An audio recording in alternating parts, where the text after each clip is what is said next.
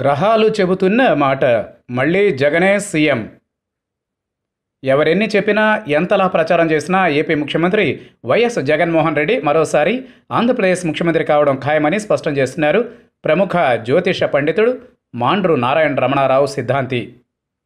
మిగిలిన ఏడాదంతా ఎలా ఉన్నా ఉగాది వస్తుందన్నంతనే పంచాంగం జోస్యాలు గ్రహాల అనుగ్రహాల గురించి ఏ రాశి వారికి ఎలా ఉందన్న దానిపై బోలెడంత చర్చ జరగడంతో పాటు పండితులు సైతం తమ అభిప్రాయాల్ని పెద్ద ఎత్తున వెల్లడిస్తూ ఉంటారు.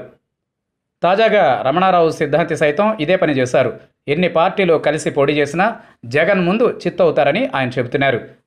ఏపీ సచివాలయంలో ప్రతికూల శక్తులు బలంగా పనిచేస్తున్నాయని అక్కడ మార్పులు చేయాల్సిన అవసరం ఉందని అన్నారు.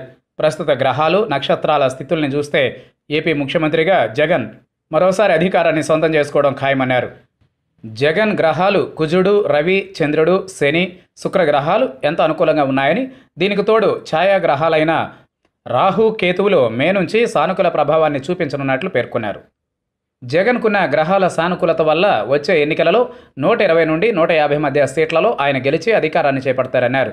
ఇప్పుడున్నట్లు కాకుండా తూర్పు ఆగ్నేయ స్థానంలో కూర్చొని పాలన చేస్తే రాజకీయంగా మరింత పట్టు పెరుగుతుందన్న మాట చెప్పారు. ఏపీ సెక్రటరియట్ వాస్తు అధ్వానంగా ఉందని ఈ కారణంగానే సచివాలయంలో ప్రతికూల శక్తులు బలంగా ఉన్నాయని అన్నారు. సెక్రటరియట్లో కొన్ని మార్పులు చేస్తే కోర్టు కేసులు పెండింగ్ పనుల్లో కదలిక వస్తుందన్నారు. అసెంబ్లీ నిర్మాణంలోనూ లోపాలు ఉన్నాయని వాటిని సరిచేస్తే కానీ మూడు రాజధానుల కళ నెరవేరుతుందన్నారు. జగన్ జాతకం దివ్యంగా ఆయన గ్రహాలు నక్షత్రాలు ఆయన్ను అధికారం దిశగా అడుగులు పడేలా చేస్తూ ఉంటే మరోవైపు విపక్ష నేత చంద్రబాబు జాతకం చూస్తే ఆయనకు సంబంధించిన ముఖ్య గ్రహాలు రోజురోజుకు బలహీనపడుతున్నాయని అన్నారు. ముఖ్యంగా రవి శని శుక్ర చంద్రగ్రహాలతో పాటు ఛాయాగ్రహాలైన రాహువు కేతువులు పూర్తిగా నీరసపడుతున్నారని అన్నారు. ఈ గ్రహాల స్థితి ఇలానే కొనసాగితే ఆయనకు రాజకీయ భవిష్యత్తు లేనట్లేనని చెప్పారు.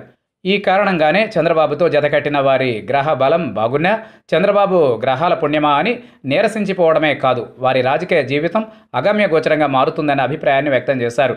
చంద్రబాబు గ్రహ బలాన్ని చూస్తే ఇప్పట్లో ఆయనకు రాజకీయ యోగం లేదన్న విషయాన్ని వెల్లడించారు.